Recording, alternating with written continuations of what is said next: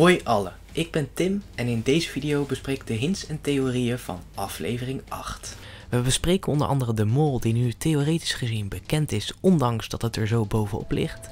De betekenis van de afleveringstitel Brandpunt en Ranomi heeft de mol door. Laten we deze video beginnen met hetgeen wat zich heeft afgespeeld voor de eerste opdracht. Allereerst heeft Jurre het over dat hij nog maar drie mensen hoeft op te schrijven. Eh, en hierop antwoordt Daniel dat hij zichzelf ook opschrijft. Is erg verdacht als je het mij vraagt, want je gaat als mol schrijf je natuurlijk ook jezelf op, zodat je jezelf kan invullen tijdens de test. Er drie mensen op te schrijven. Ik schrijf mezelf op. Verder Jurre die praat met Soy over de molafspraak die hij heeft gehad, zodat ze samen in de finale kunnen zitten. Stel Jurre is in deze de mol, dan wil Jurre juist dat Soy penningmeester wordt. Als Soy dan afvalt, is dit misschien wel een idee van Jurre om zelf dan penningmeester te worden en uiteindelijk nog flink wat geld te verwijderen uit de pot. Maar dit is natuurlijk maar een theorie, eh, maar het zou wel een theorie kunnen zijn die eventueel zou kloppen. Goed, opdracht 1, focusgroep. Fotografie is hierin een grote rol. Uh, Soy deed natuurlijk mee aan het perfecte plaatje. Kan een verwijzing zijn naar hem als mol. Daarnaast was blijkbaar envelopje 2 heel erg gewild. En daar zat uiteindelijk de finale vrijstelling in. Het viel op dat Daniel en Ranomi die envelop graag wilden. Uh, maar dat Soy er snel mee vandoor was gegaan. Na de opdracht kiest Jurre ervoor om voor envelop 2 te kiezen met de finale vrijstelling in zich. Uh, als mol weet je natuurlijk al wat er in de enveloppen zit. De jury is in deze opdracht best wel erg verdacht. Want als mol wil je juist de vrijstelling, want dan komt er geen geld in de pot. Ook vraagt Daniel om nogal erg veel informatie van de fotograaf. Uh, is dit onverdacht of is dit juist verdacht? Dan even ook nog even een nutteloze hint. Uh, de, de Nelpaard ging natuurlijk ondergronds, of nou ja, onder water. En Jurre wilde natuurlijk heel graag een Nelpaard op de foto zetten. Uh, is Jurre de mol die ondergronds of onder water gaat? Verder in deze opdracht heeft Jurre nog een safari petje op. Uh, het lijkt mij dat hij, dat hij die al heeft meegenomen vanuit Nederland. Uh, of heeft hij daar tussen de opdracht door dat petje kunnen kopen? Dat weten we natuurlijk niet. maar het is in ieder geval heel erg verdacht. want de mol weet natuurlijk al wat voor soort opdrachten gespeeld gaat worden. Ook heeft Daniel de foto's best goed gemaakt, ondanks dat hij niet wist hoe hij om moest gaan met de camera. Uh, Jurre laat daarnaast nog heel even nonchalant zijn envelop zien, terwijl het eigenlijk niet van toepassing is. Uh, er staat het logo van Wie is de Mol natuurlijk op. Uh, en dat kan een goede verwijzing zijn naar Jurre die zichzelf dan aanwijst van goh, ik ben de mol. Tot slot in deze opdracht nog een gek vooropgezet spel wat het lijkt. Chris de fotograaf lijkt namelijk gevraagd te zijn om heel erg overdreven te acteren met de foto's bekijken. Uh, je ziet eigenlijk gewoon dat hij een beetje zo om zich heen kijkt. Een beetje in een acterende in een, acterende, in een acterend gevoel. Dat is natuurlijk ook heel erg gek. Hierna volgt de test al met de toekomstige vragen. En de testresultaten zijn als volgt. Jurre heeft een vrijstelling ingezet. Uh, Daniel zit op Jurre en hij zegt erbij dat hij in één aflevering vol op Jurre is gegaan. Uh, dus eigenlijk trek je hier de montage toch ook wel weer meer naar Jurre toe. Uh, Soy, van Soy weten we zijn verdenkingen niet en van, van Ranomi weten we ook niet wat er verdenkingen zijn. Nou, na deze test valt er heel erg op dat direct erna Daniel meteen alles op tafel gooit voor Jurre, want Jurre was niet bij het maken van de test. en Soy wilde hier juist dat Jurre het niet wist. Stel Jurre is de mol, dan heeft Daniel hem toch al door.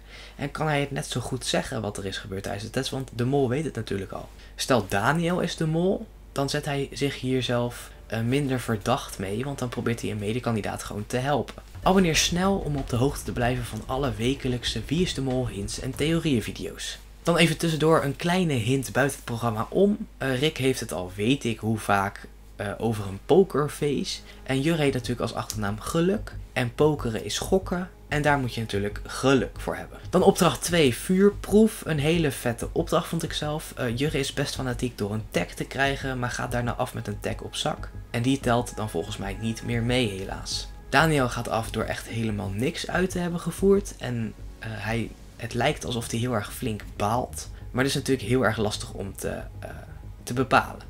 Uh, verder heeft Jurre nog, ook nog een goede tactiek door te zeggen dat de kandidaten de tekst moeten gooien. Uh, en hierdoor komt de tekst sowieso op tijd binnen en is er een grote kans dat hij telt. Uh, want het kan ook zijn dat de kandidaat wordt afgeschoten voordat de tag überhaupt binnen is geteld. Erg goede anti-mol-actie. ook wil je als mol zijnde er dus lang in blijven. Hetgeen wat je als enige kan doen is eigenlijk tijd rekken. of natuurlijk een foute code invoeren of slechte eterdiscipline. en Daniel werd een beetje boos dat hij echt best wel snel werd afgeschoten.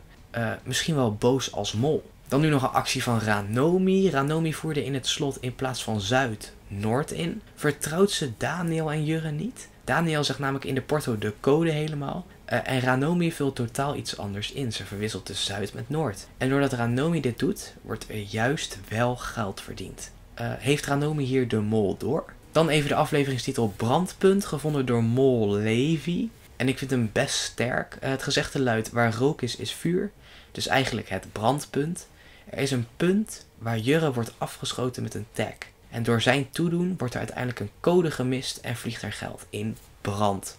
Brandpunt. Nou, geen afvaller deze aflevering en veel moloten vinden dat online natuurlijk heel erg jammer. Ik, onder andere ik. Aangezien we meer informatie willen over wie er nou 100% zeker kandidaat is. Uh, dan nog even een theorie die ik ingestuurd kreeg door Ellen uit Spanje. Zij zegt namelijk dat brandpunt staat voor een bolle of holle spiegel of van een lens, waarin de evenwijdige invallende lichtstralen na terugkaatsing of breking samenkomen. Nou, wat kan je hieruit natuurlijk leiden? De titel kan heel goed op de fotoopdracht slaan en dan dus Jurre, want hij wint natuurlijk de opdracht en hij is bezig met die, met die camerastanden. Daarnaast zegt ze ook dat Jurre per se een nelpaard wilde fotograferen. en een nelpaard staat in de Nederlandse taal voor verborgen gevaar. En wat is een mol? Verborgen en gevaarlijk. Erg leuke en misschien best wel sterke theorie naar Jurre als mol. Tot slot om deze video af te sluiten, de verdenkingen naar Jurre zijn op dit punt 61%. Dat is natuurlijk echt heel erg veel. En dit komt natuurlijk doordat Jurre toch al door is naar de finale. Iedereen zet op Jurre in, want dan zijn de punten safe.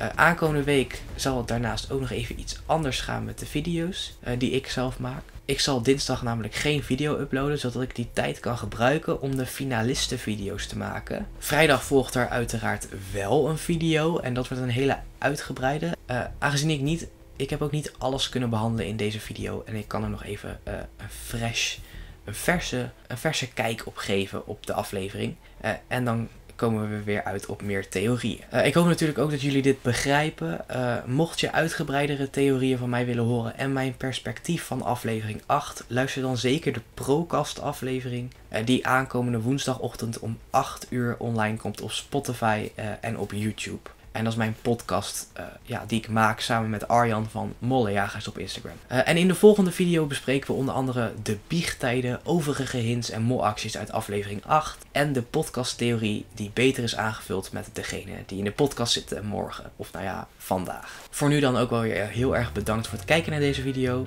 Uh, abonneer snel mocht je dit nog niet gedaan hebben. En dan zie ik jullie natuurlijk de volgende keer weer. Laters.